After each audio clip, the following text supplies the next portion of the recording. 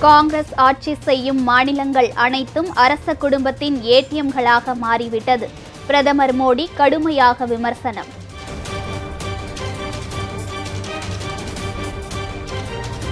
விருதுநகர் மாவட்ட கள ஆய்வு பணியின் போது பட்டாசு ஆலையை பார்வையிட்டார் முதலமைச்சர் ஸ்டாலின். பாதுகாப்பு கட்டமைப்பு வசதிகளை வலுப்படுத்த அறிவுறுத்தல்.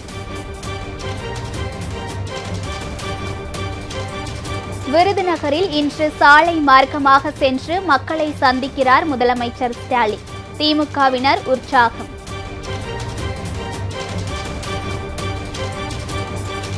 டிசம்பர் ஆறாம் தேதி நடைபெறும் அம்பேத்கர் புத்தக வெளியீட்டு விழாவில் யார் யார் பங்கேற்கிறார்கள் என்பது இன்னும் உறுதிப்படுத்தப்படவில்லை.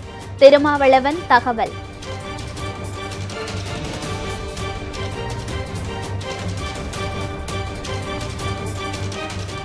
திமுக கூட்டணியில் உள்ள கட்சிகள் வெளியேறுவதற்கு அதிக வாய்ப்புகள் உள்ளது.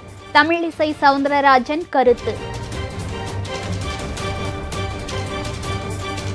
கோவிட் கிட் நிதி முறைகேட்டில் கர்நாடகா முன்னாள் முதல்வர் எடியூரப்பா மீது வழக்கு பதிவு செய்து விசாரிக்க உத்தரவு. தனி நீதிபதி ஆணையம் பரிந்துரை. உலக தமிழர் பொருளாதார மாநாடு கோலாலம்பூரில் வரும் பதினைந்தாம் தேதி தொடங்குகிறது. தலைவர் சம்பத் அறிவிப்பு.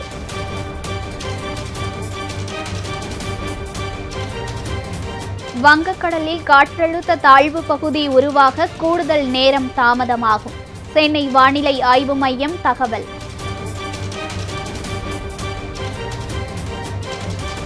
செம்பரம்பாக்கம் ஏரியை இருபத்தி இரண்டு கோடி ரூபாய் செலவில் சீரமைக்க நடவடிக்கை. அடுத்த ஆண்டு பருவமழைக்கு முன்னதாக பணிகளை முடிக்க திட்டம்.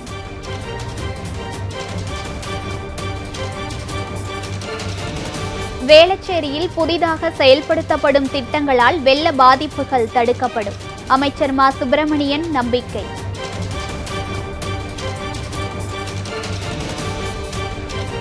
நெல்லையில் பிரபல தொழிலதிபர் வீட்டில் வருமான வரித்துறை அதிகாரிகள் நான்காவது நாளாக சோதனை. வரி ஏய்ப்பு புகாரில் நடவடிக்கை.